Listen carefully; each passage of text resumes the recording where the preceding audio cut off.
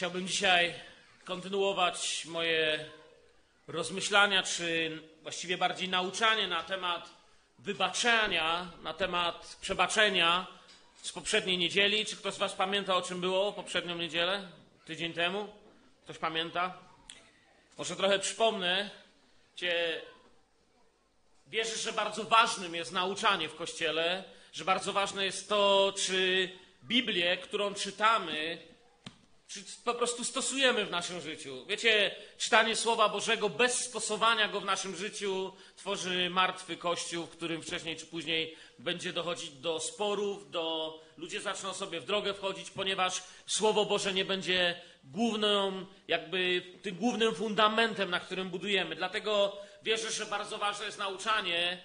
W czwartek, niektórzy z Was nie byli w czwartek. Cieszę się, że coraz więcej z Was przychodzi w czwartki, że jednak Widzicie, że jest potrzeba bycia tutaj razem więcej niż raz w tygodniu. W czwartek głosiłem tutaj na temat tego, co Biblia mówi na temat przekleństwa. Dlaczego to mówiłem?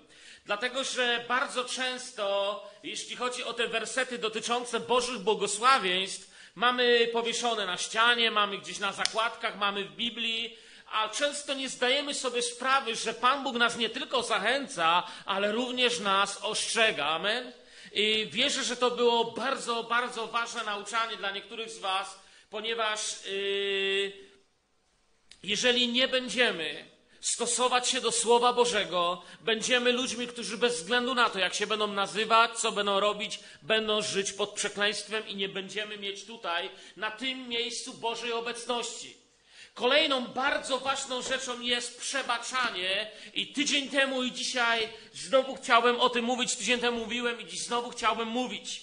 Może w ten sposób chciałbym Wam przypomnieć kilka głównych myśli z poprzedniej niedzieli.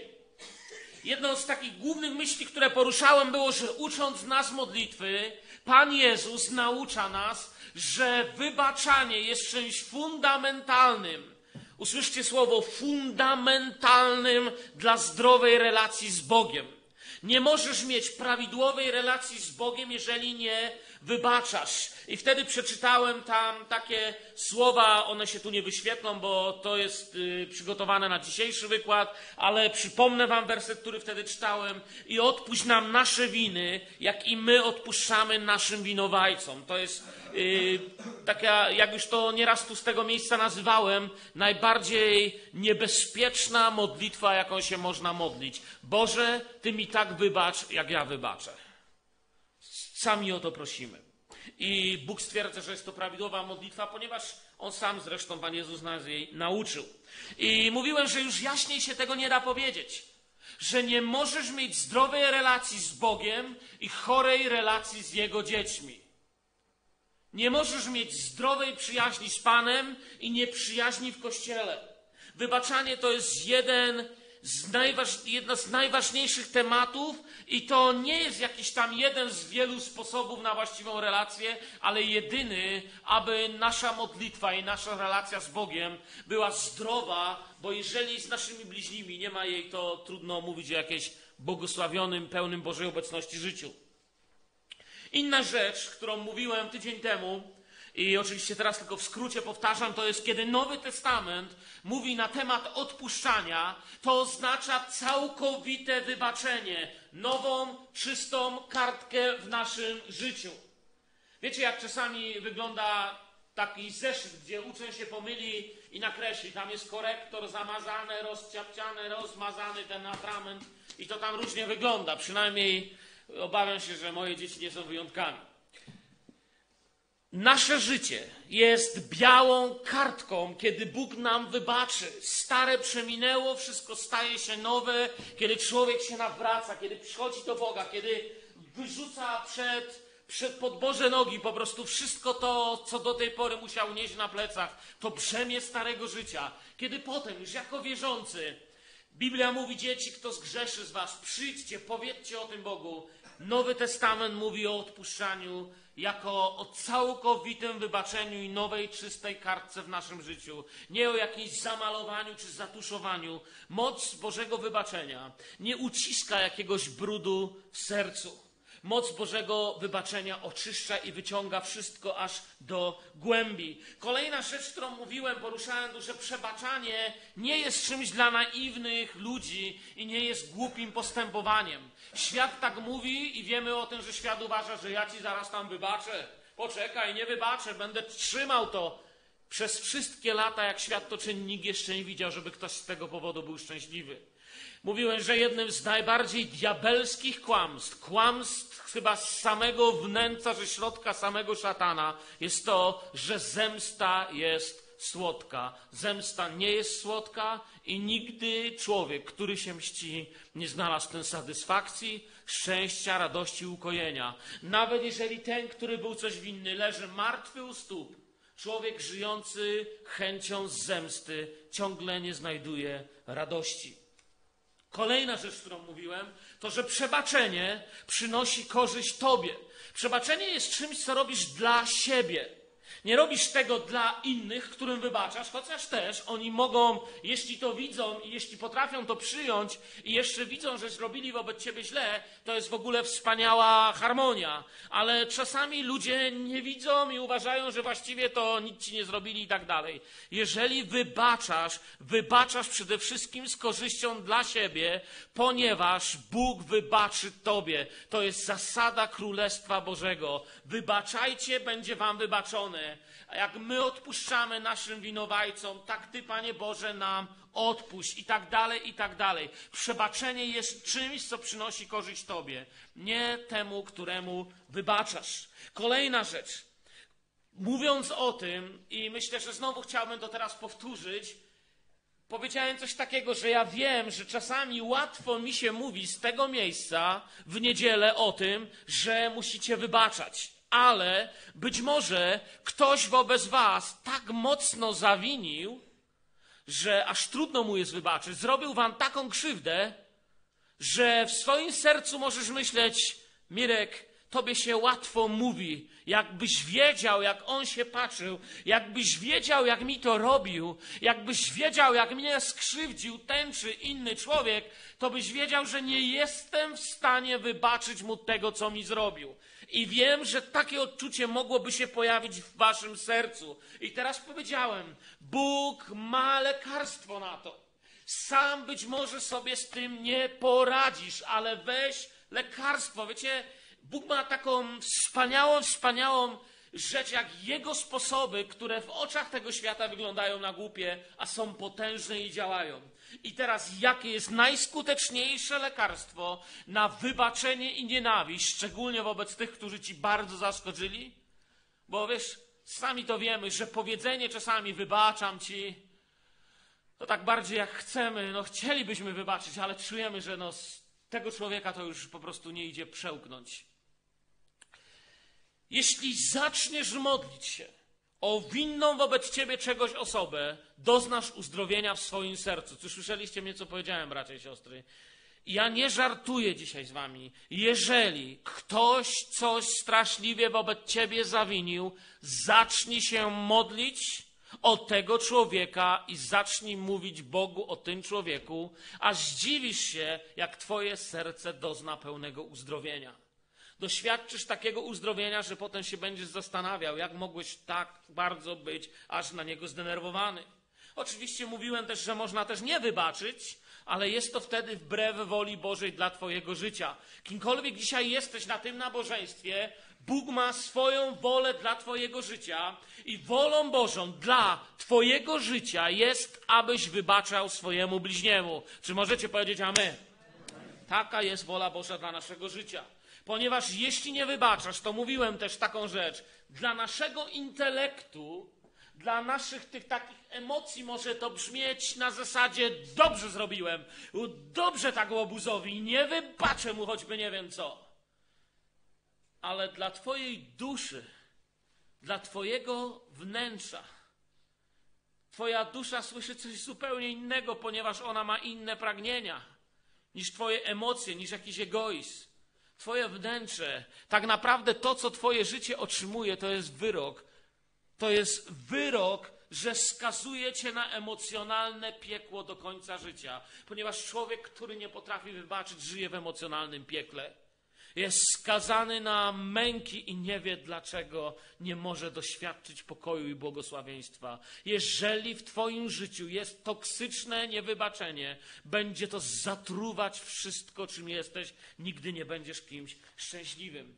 To jest pokrótce to, o czym mówiłem tam na poprzednim wykładzie. Powiedziałem też takie słowa, może jeszcze to powtórzę, że jeżeli uważasz, że nadal możesz nie wybaczać swojemu bliźniemu, to wiedz, że kłamiesz samego siebie w okrutny sposób. Jest to nieprawda. Człowiek nie jest tak, że nie może wybaczyć, jest tak, że nie chce wybaczyć. I wtedy nienawiść staje się panem tego, co robi, a w jego serce jest wlana trucizna. Ta trucizna w końcu się przelewa, zaczyna się wlewać w uszy jego dzieci, jego przyjaciół, Wiecie, to są tacy ludzie, ja znam takich ludzi, oni o niczym innym nie potrafią mówić, tylko o swoich konfliktach, kto im co zrobił, z kim się pokłócili. Szczególnie jak ktoś z was pracuje w biurach, to wiecie, co niektóre koleżanki, czym one żyją. One mają książkę, 10 tomów, po 2000 kartek każdy by napisały o tym, co kto im zrobił, jaka tamta jest głupia, tamta jest idiotka, a tam w ogóle to nic nie wie i, i tak dalej, i tak dalej. Ci ludzie się tym trują, zalewają i wiecie w efekcie czego? W efekcie tego ich serce nie potrafi spojrzeć na człowieka jak na nieszczęśliwą istotę, która potrzebuje zbawienia. W efekcie ich serce nie potrafi powiedzieć do drugiego bliźniego, a ja błogosławię Ciebie w imieniu Jezusa. A jeśli zaczniecie błogosławić, zacznijcie siać błogosławieństwo, a zobaczycie, jak zacznie się zmieniać świat wokół Was. Zacznijcie inaczej jeździć, inaczej chodzić, inaczej myśleć. Kiedy tyle rzeczy wokół nas próbuje zdenerwować, zacznijmy być ludźmi błogosławieństwa, chociaż to jest trudne i uczymy się. Jak chcesz o tym pamiętać, poproś dzieci, one ci zawsze przypomną, co w samochodzie mówisz. Poproś żonę, oni ci powiedzą, to są super nauczyciele. Ale postanów sobie, chcę błogosławić innych. Chciałem teraz przejść do drugiej części mojego wykładu, ponieważ jest jeszcze trochę rzeczy, o których chciałbym powiedzieć i tamtym razem nie chciałem was trzymać do drugiej po południu. I dlatego dzisiaj to chcę powiedzieć. Wiecie, dzisiaj nie tyle chciałbym się zająć wybaczeniem innym ludziom, chociaż też, bo to jest temat tych wykładów i tego nauczania, ale chciałbym się też zająć nami samymi, czyli Tobą i mną. Tym, co się dzieje wewnątrz mnie, jak doświadczamy od kogoś wybaczenia. Ponieważ mówiłem, co się dzieje wewnątrz nas, kiedy my okazujemy wybaczenie, kiedy ja wychodzę do kogoś i daję mojemu bliźniemu rękę. Dzisiaj chciałbym trochę powiedzieć na ten temat, co się dzieje, kiedy mój bliźni przychodzi do mnie i daje mi rękę.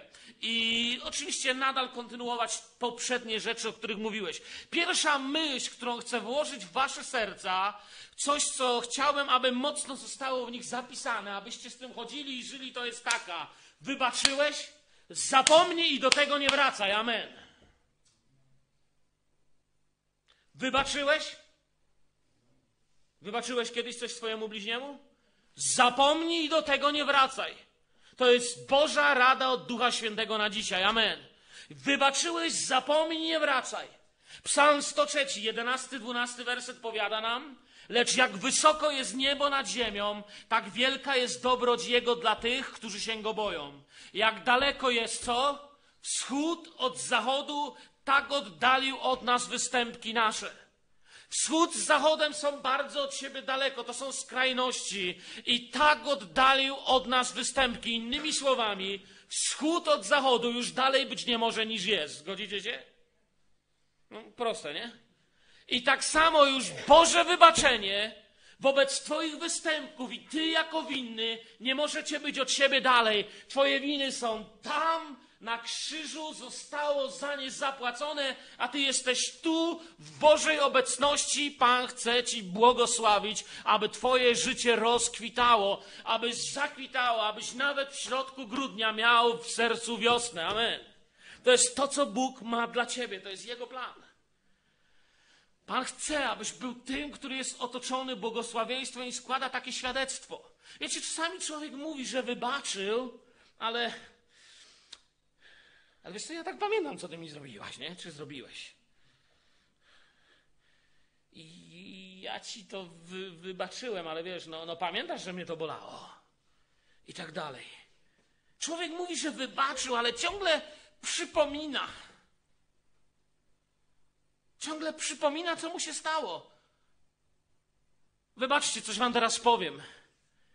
Jeżeli człowiek samego siebie ciągle czaruje i swoje emocje i mówi, że wybaczył, a tak naprawdę ciągle nosi to w środku, tylko raz to zamyka do butelki, a raz tego dżina wypuszcza, to to nie jest wybaczenie, to nie jest Boże błogosławieństwo, to jest zarmowanie się czarną magią wobec swojego bliźniego. Raz będziesz wolny, raz będziesz niewolny. To jest jakiś rodzaj wstępu do wudu. Raz cię szpilą, a raz cię pogłaszczę. Raz cię przebiję, raz ci coś miłego powiem. Wybaczyłeś, zapomnij i koniec. Amen. Nie uprawiaj żadnej magii. Czasami popełniamy, my lub wobec nas popełniane są błędy tak poważne, że brak wybaczenia może zniszczyć wszystko to, co jeszcze ocalało. Bo czasami, albo najczęściej dużo ocaleje, ale my sami to potem zdeptamy. Ludzie czasami, wiecie, muszą uciekać przed spojrzeniami, komentarzami rodziny albo sąsiadów. I jeszcze dobrze, jeśli to są ludzie przedsiębiorczy, nie wiem, mają pieniądze, możliwości, kilka domów.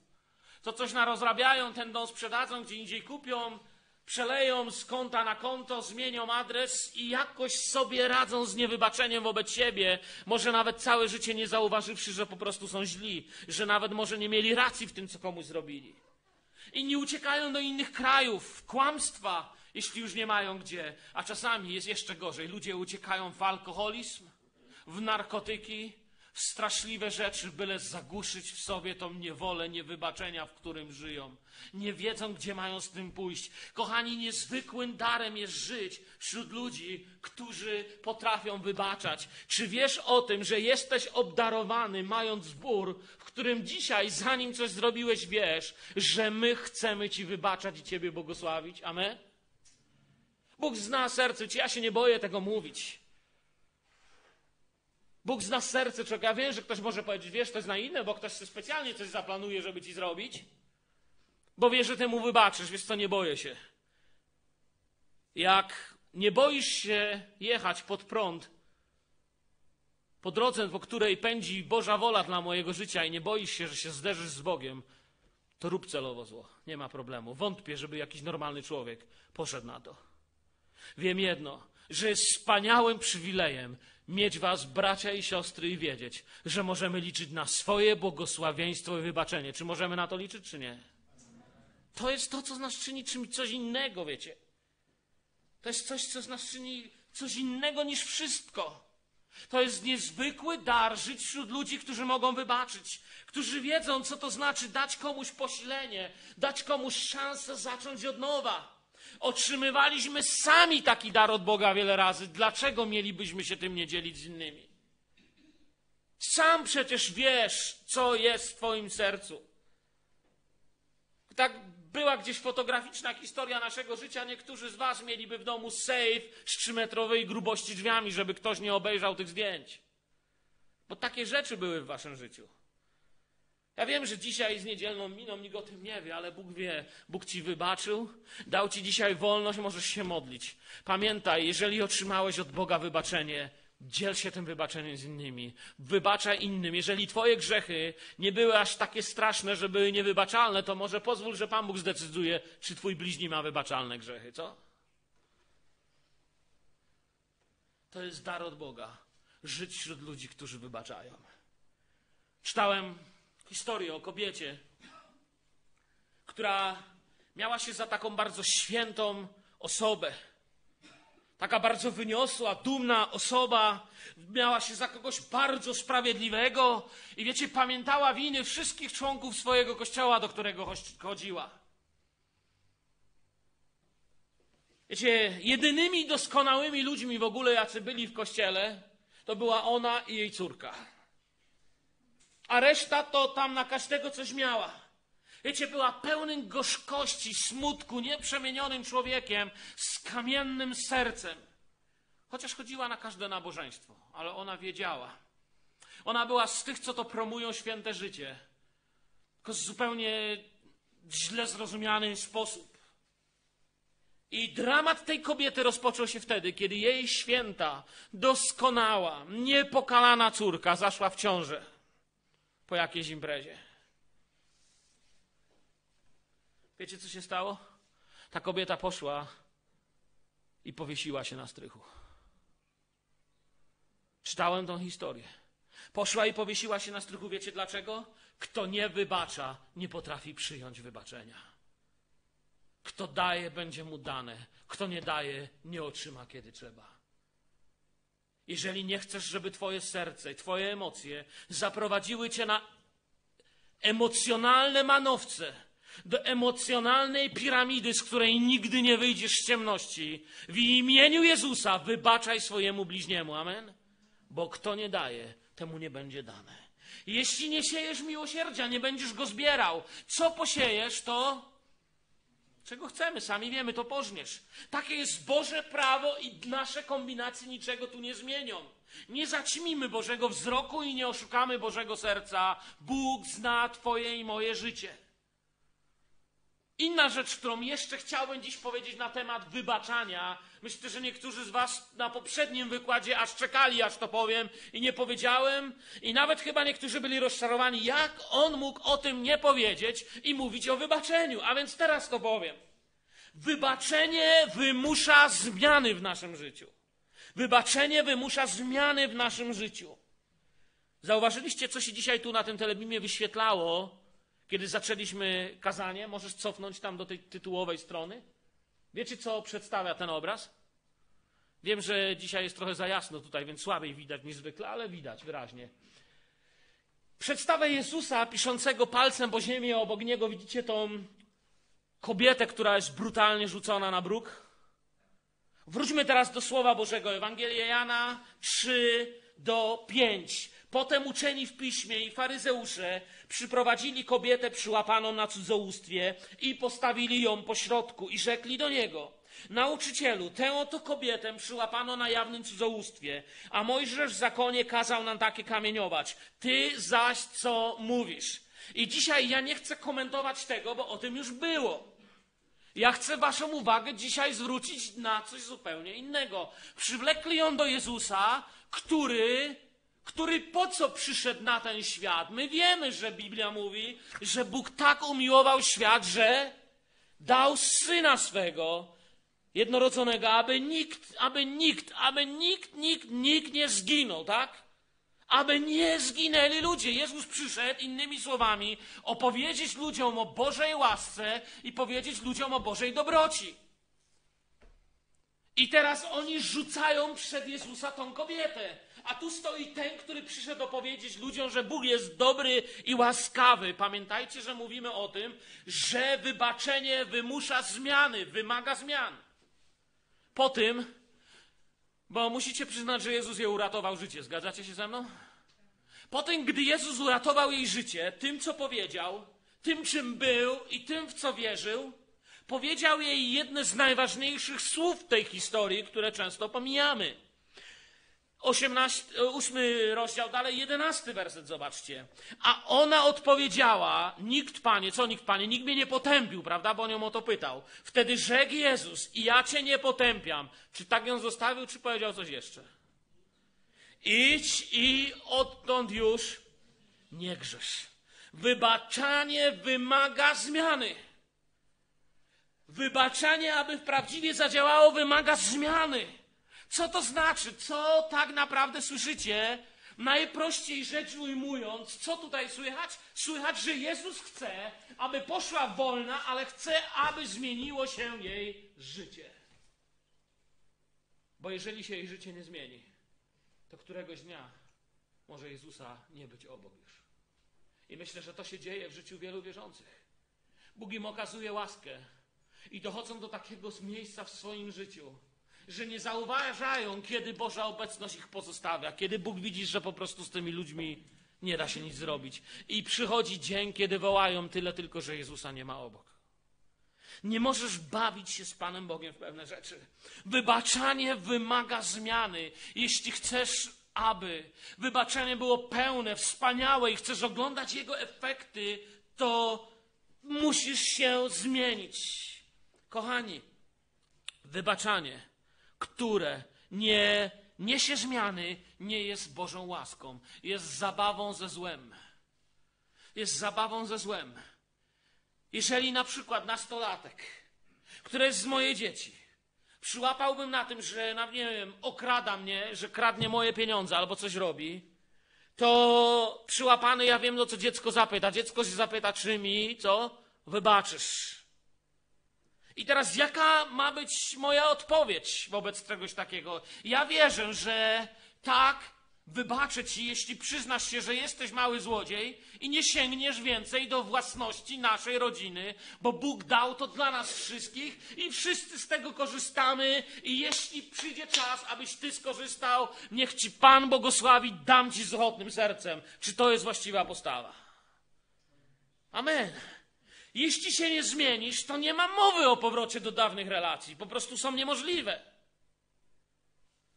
I problem dzisiaj polega, że wielu ludzi przyłapanych na czymś złym wcale nie zamierza zmienić swojego życia, wcale im nie jest przykro za to, co zrobili, im jest przykro, że ich złapali.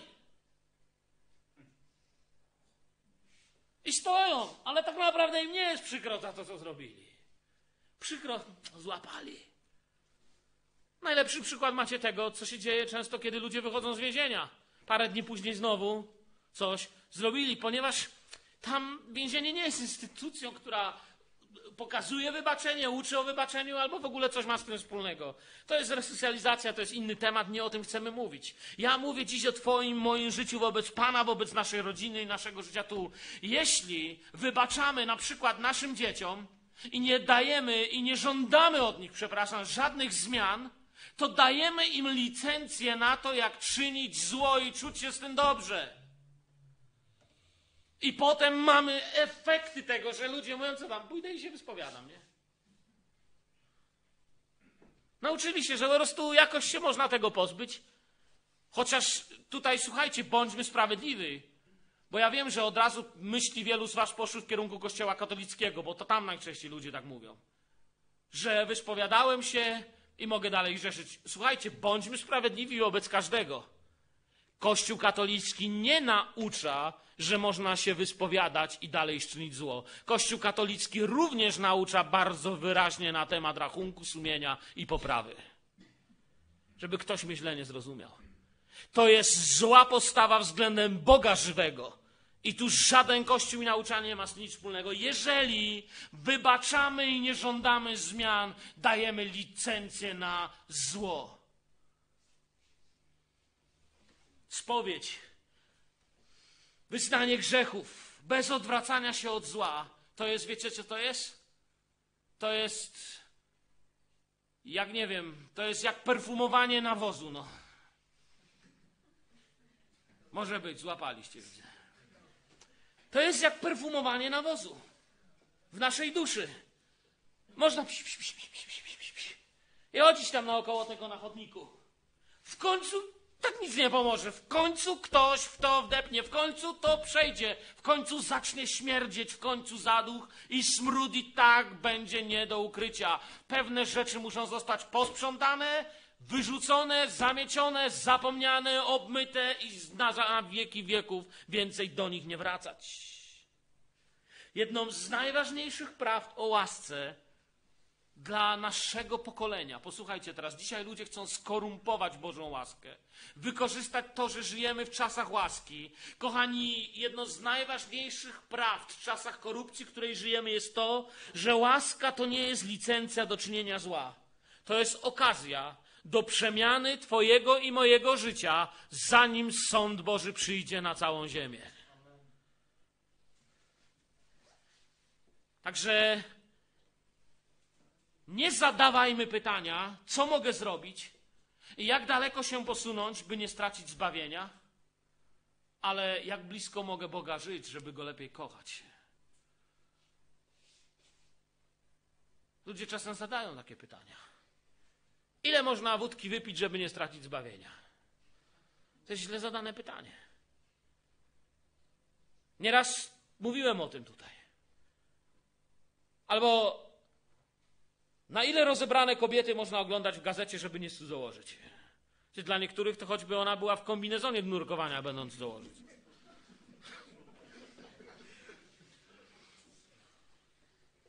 Ponieważ kwestia jest serca.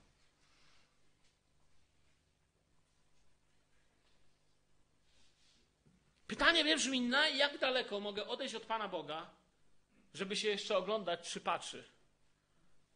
Ale jak blisko Niego mogę być, żeby mieć pewność, że zawsze moja ręka jest w Jego ręce. Zauważyliście nawet malutkie dzieci. Takie malutkie, naprawdę, dwulatki. Jak z nimi gdzieś idziesz na spacer, czasami gdzieś biegną i się oddalają. Zauważyliście, co robią, kiedy czują, że są już daleko? Oglądają się za siebie, czy przypadkiem ciągle na nie. I my się tak czasami zachowujemy. Ale jak tylko poczują, że jest za daleko, to momentalnie prują z powrotem. I najlepiej dla nas, żebyśmy dokładnie tak samo wobec Boga się zachowywali. Ty nie pytaj, jak daleko możesz bie odbiec od Niego. Pilnuj, żebyś był zawsze blisko Niego. Łaska nie jest po to, żeby się korumpować. Zadawajmy właściwe dla Bożych dzieci pytanie: jak mogę Cię, Panie, kochać bardziej? Jeśli czujesz dzisiaj, że potrzebujesz Bożej łaski, to znaczy, że w Twoim życiu muszą nastąpić zmiany, inaczej nie poczujesz ukojenia, które ono niesie. I często byłem świadkiem tego, że ludzie przychodzili i modliłem się z nimi, czy modliłem się o nich, ale oni mówią dzień czy dwa później, wiesz co, nadal mam ciężar. Ja mówię, potrzebujesz Bożej łaski, potrzebujesz Bożego tak, ale jakoś nie mogę. Musimy się zabrać za korzeń tego, wyrwać to i zawsze, kiedy człowiek w końcu z bólem wyrzuca to, co czasem dla niego jest bardzo cenne, ale jest złe, nagle mu się robi tak, uff, mówi, wiesz co, działa, bo się pozbył tego czegoś, co zostało niewyznane co ciągle było, co on, on przyjmował łaskę, ale nie chciał odrzucić tego, tego czegoś, tego, tego czegoś kradzionego, tego czegoś nie z niego, tego czegoś zagarniętego. Wy wiecie, o czym ja teraz mówię. Po prostu nie chciał zmienić swojego życia. Jeśli czujesz dzisiaj, jeśli teraz tak możesz wsłuchać się w swoje serce, potrzebuję, żeby mi Bóg wybaczył. Potrzebuję Bożej łaski. To logika sama nam odpowiada, że jest coś w Twoim życiu, co trzeba zmienić, prawda? I to nie, nie mówię tego po to, żeby cię, nie wiem, ośmieszyć, żebyś się poczuł gorzej, bo moje zadanie jest tutaj wręcz przeciwnie. Ja bym chciał, żebyśmy się wszyscy dobrze czuli, ale czasami trzeba się poczuć gorzej, żeby się poczuć lepiej.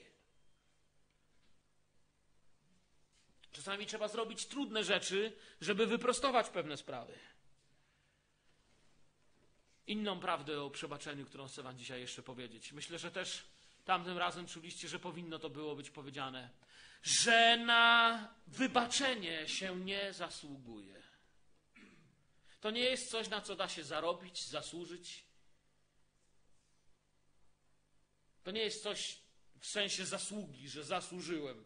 Zrobiłem rzeczy, że teraz już zasłużyłem na wasze wybaczenie. List do Kolosan, pierwszy rozdział, 13 i 14 werset powiada o Jezusie, który nas wyrwał z mocy ciemności i przeniósł do królestwa Syna swego umiłowanego, w którym mamy odkupienie i odpuszczenie grzechów. Kto nas wyrwał z ciemności? Powiedzcie Jego imię. Jezus, tak? Kto nas przeniósł do królestwa? On to uczynił. Bóg to uczynił. W którym mamy odkupienie, odpuszczenie grzechów. Bóg to uczynił z łaski. Amen? Nie dlatego, że zasłużyłem. To nie jest wers do tych, którzy zasłużyli i Pan Bóg im to zrobił. Mówiłem wam wcześniej, że nie ma prawdziwego wybaczenia bez przemiany. W tym kontekście chcę znowu powiedzieć o czymś bardzo ważnym. Wielu ludzi ma problem z wybaczeniem samemu sobie. Już nie tylko ze zmianą samego siebie, ale z wybaczeniem samemu sobie. Są gotowi zdobyć największy szczyt, zabić smoka dookoła świata pójść na kolanach, tylko nie powiedzieć, że o, to, tak, o, wybaczył mi Bóg? Tak, tak właśnie wybaczył. Nie trzeba. Nie trzeba zdobyć Kilimandżaro na kolanach. Nie trzeba stąd do Lublina i z powrotem, najlepiej jeszcze na grochu. Biczować się. Próbują zasłużyć ludzie na wybaczenie. Zaczynają co robić. Wiecie, często może nie idą na kolanach stąd do Lublina, a już szczególnie jeśli mają jakieś tam protestanckie yy, przekonania, czy też czytają Biblię, wtedy już wiedzą, że nic nie starczy, ale wiecie co robią? Próbują Pana Boga oszukać z innej strony. Próbują zasłużyć na przebaczenie, zaczynają chodzić do kościoła. Na wszystkie nabożeństwa, śpiewać religijne pieśni, dawać pieniądze, pomagać biednym. To wszystko jest dobre. Tylko problem, że nie zarobisz tym, na łaskę Bożą. Nie zarobisz tym na wybaczenie. To jest bardziej beznadziejne niż spłacanie po złotówce kredytu na milion zaciągniętego. to procenty cię przerosną. Tu jest jeszcze więcej. Jesteś Bogu winny tyle, że Syn Boży na krzyżu Golgoty za to musiał zapłacić. I cena jest zapłacona. Boża wiadomość brzmi, łaski nie da się zasłużyć, zarobić i kupić. Za nic. Bożego wybaczenia nie da się kupić. Trzeba je zaakceptować i przyjąć przez wiarę. Wybaczenie naszych grzechów nie jest spowodowane tym, posłuchaj mnie teraz. Bóg nie wybaczył tobie i mi naszych grzechów, dlatego że kochacie bardziej niż innych. Nie dlatego.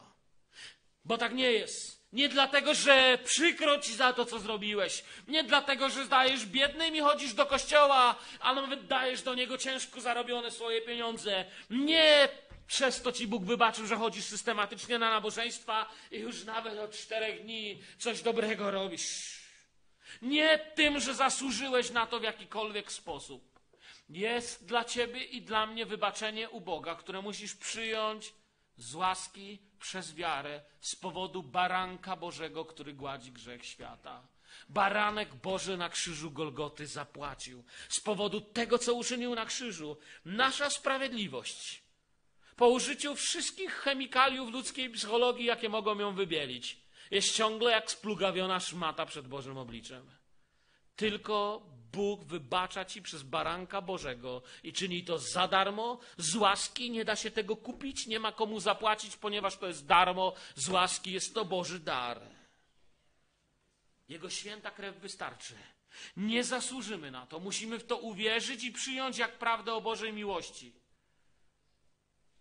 Jedna szczera, prawdziwa modlitwa w Twoim życiu, a cudowna Boża łaska i miłość Boża zaczną w nich działać. Amen. Zaczną w nim działać. I będą działać i nie mają końca, ograniczeń, zaczną oczyszczać i zmieniać Twoje życie. Nie zasłużyliśmy na Bożą łaskę. Ona jest nam okazana. Efezjan 2, 4, 5. Ja wiem, że połowa z Was już to ma i tak na sercu. Ale Bóg, który jest bogaty w miłosierdzie dla wielkiej miłości swojej, którą nas umiłował i nas, którzy umarliśmy przez upadki, ożywił wraz z Chrystusem. Przeczytamy razem to wszystko. Łaską zbawieni jesteście. Amen? Nie ma polemiki. Łaską. Przyjmij Boży dar, ciesz się nim, zaakceptuj. Jeśli masz z tym dzisiaj problem, Przyjdziesz tutaj, możemy się o ciebie modlić, ale nie wracaj już do grzechu, który tylko ci niesie ból i rany. Jeśli Bóg ci wybaczył, musisz też przebaczyć samemu sobie. I to wiecie, ja dziś nie stosuję tutaj na was jakiejś taniej psychologii. To jest duchowy fakt, a nie żadna tania psychologia. Jeśli wyznałeś Bogu grzech, pokutowałeś, to teraz przestań na siebie patrzeć, jakbyś nigdy o tym z Bogiem nie rozmawiał, tylko patrz, jakbyś rozmawiał o tym z Bogiem, a on przez syna swojego odpowiedział i powiedział Amen. Wykonało się.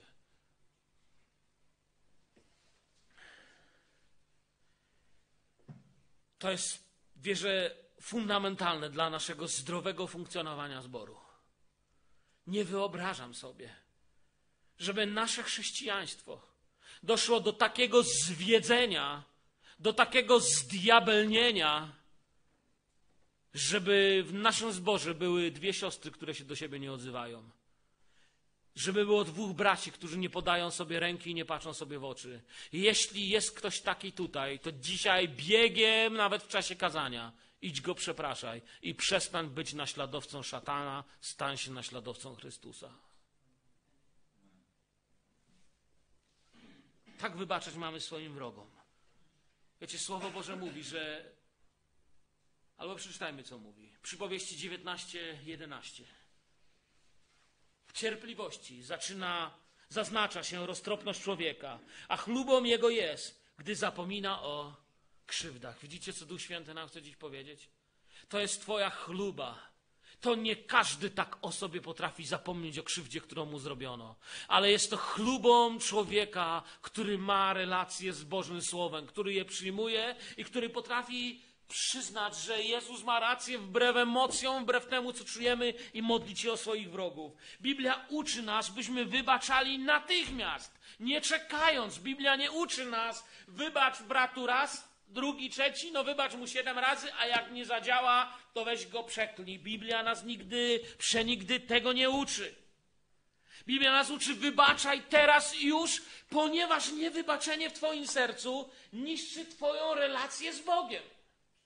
Nie możesz się modlić, ponieważ Twoja modlitwa jest tylko słowami bez wybaczenia i nie chodzi dalej niż do sufitu. Inaczej, Mateusza, piąty rozdział 23-24. Jeśli byś więc składał dar swój na ołtarzu i tam wspomniałbyś, iż brat twój ma coś przeciwko tobie, zostaw tam dar swój na ołtarzu, odejdź i najpierw pojednaj się z bratem swoim, a potem przyszedłszy złóż dar swój. Wiecie, co odkryłem w tym wersecie? To jest pierwsze ostrzegawcze odejdź, które mówi Pan do człowieka. Zauważyliście? Tu pisze odejdź. Nie mówi na razie odejdź w tym sensie niezmiennym, ostatecznym, ale po raz pierwszy, zobaczcie, człowiek przychodzi się modlić i nie słyszy, że Bóg się cieszy, ale Bóg mówi do niego odejdź, ale nie mówi to w gniewie na razie. Mówi bardziej jak taki dobry tata do syna: Synu, idź i zrób to, co ci powiedziałem, że masz zrobić, i wtedy wróć.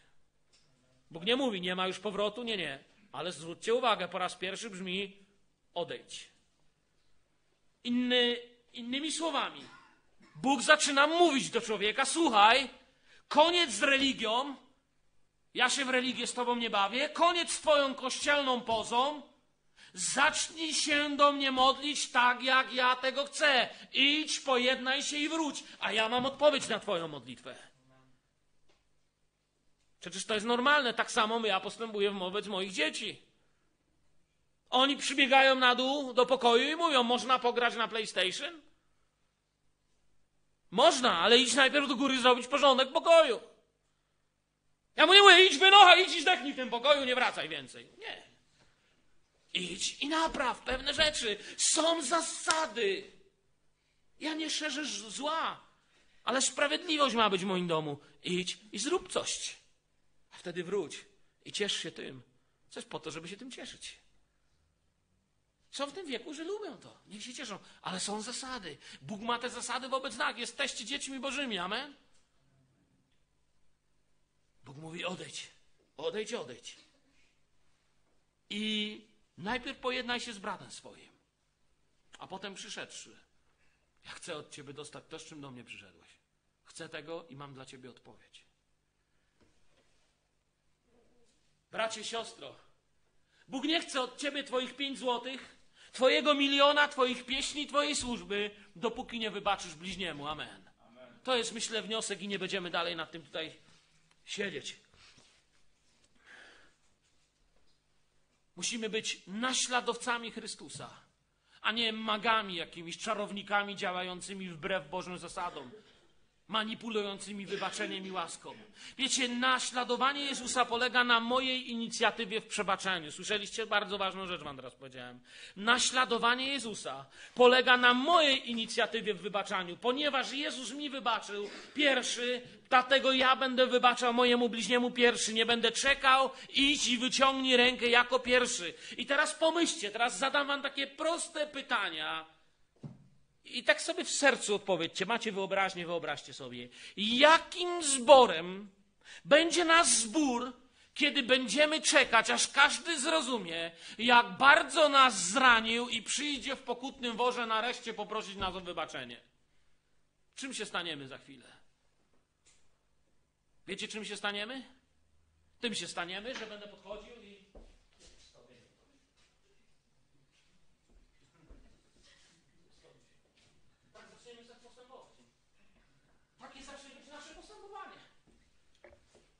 To jest normalne? Czy do tego zostaliśmy powołani? Aby tak postępować? Obawiam się, że nigdy wtedy nie doświadczymy tu na tym miejscu uzdrowień, chrztu w Duchu Świętym. Nigdy Bóg nie odpowie słowem proroczym na głębokie potrzeby Twojego życia, na które tylko On może dać odpowiedź. Nigdy Pan nie będzie mógł działać ponieważ na sali będą ludzie, którzy gdyby się zetknęli, to by im się ubrania zapaliły. Opcja numer dwa. Jaki będzie nasz zbór, gdy każdy z nas pierwszy będzie wyciągał rękę na zgodę i wybaczał swojemu bliźniemu? Świadomy tego, że od tego zależy jakość nabożeństwa, na które przychodzimy. Wiecie, jaki będzie? Będziemy się w korytarzu zderzać o siebie. W kawiarni będą siedzieć ludzie z rozbitymi nosami i zimną chusteczką, żeby zatamować krew. I jak ich spytasz, się stało, zderzyliśmy się w przejściu, biegliśmy sobie wybaczyć. Tak się będą śpieszyć, takim zborem będziemy. Będziemy doświadczać Bożych uzdrowień, objawień, działania, ponieważ nasz ołtarz modlitwy będzie zbudowany zgodnie z Bożą wolą. Nie jest to waszym marzeniem? To jest moje marzenie. To jest to, co chcę oglądać tutaj, albo nie zamierzam marnować mojego życia na kościelne przeżycia jakieś tam religijne. Się lepiej zapiszę na modelarstwo, może coś osiągnę.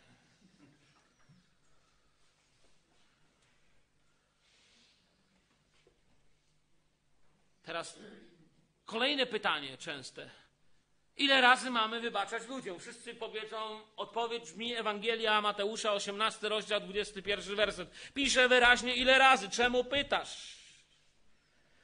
Wtedy przystąpił Piotr do niego i rzekł, Panie, ile razy mam odpuścić bratu memu, jeżeli przeciwko mnie zgrzeszy? Czy aż do siedmiu razy? Jezus, sobie wyobrażam, jak oni patrzą i czekają na odpowiedź. Patrzy na niego i odpowiada mu, znacie tą odpowiedź, prawda? Mówi mu Jezus, nie, powiadam ci, nie siedem razy, sześć razy, nie, pięć, nie. To ile razy? 490 razy. Do siedmiu razy. Nie, do, nie powiadam ci do siedmiu razy, lecz do 77 razy. Dosłownie czytając to, to do 490 razy tak naprawdę, tak powinniśmy to odczytać tutaj. Czemu Bóg tego od nas chce teraz, pomyślcie? Ja wiem, że teraz ktoś stanie i powie, no nie wiem, tam zaczną kalkulatory, pójdą w ruch i będzie schizma. Nie. Czego Bóg od nas chce? Ja myślę, że nie chodzi o matematykę. Myślę, że to, co naprawdę Jezusowi chodzi, to jest to, że aby to się stało stylem i przyzwyczajeniem, przyzwyczajeniem w naszym życiu, że gdy mi coś zrobią, ja wybaczam, bo mam Jezusa. Mam tego, który rzeczywiście jest większy niż ten, który jest w świecie. Mam tego, który rzeczywiście potrafi odbudować. Mam tego, który w księdze Jeremiasza powiedział, że potrafi mi oddać wszystko to, co przez lata zjadła szarańcza. Mam tego, który jest moim lekarzem, który jest moim odkupicielem, moim obrońcą, moją twierdzą, moją nadzieją, radością. Mam wszystko, a więc niczego nie mogą mi zabrać. Mogę wybaczać moim bliźnim. Amen. Tylko widzicie, wtedy trzeba naprawdę już w Pana Boga wierzyć, żeby tak robić. To jest test naszej wiary. Życie wolne od gniewu, toksycznych oparów, nerwów i zemsty uczyni z nas prawdziwe świadectwo. My nie mamy prowadzić kartoteki, księgi życia i śmierci naszego sąsiada i naszych bliźnich. Jezus nam wybaczył, uczynimy dokładnie to samo. Kończąc, chcę podkreślić najważniejsze rzeczy, które powiedziałem. To już właściwie byłby koniec tego kazania. Pozwólcie jeszcze, że podkreślę, czy powiem, użyłem tutaj w ciągu tych dwóch tygodni, których mówiłem do Was o wybaczaniu, pięć najważniejszych spraw, o których chciałbym, abyśmy nie zapominali jako zbór, wtedy będziemy kimś zupełnie innym. Nie możesz doświadczyć wybaczenia, jeśli nie będziesz wybaczał swojemu bliźniemu. Czy przyjęliśmy to jako zbór? Amen?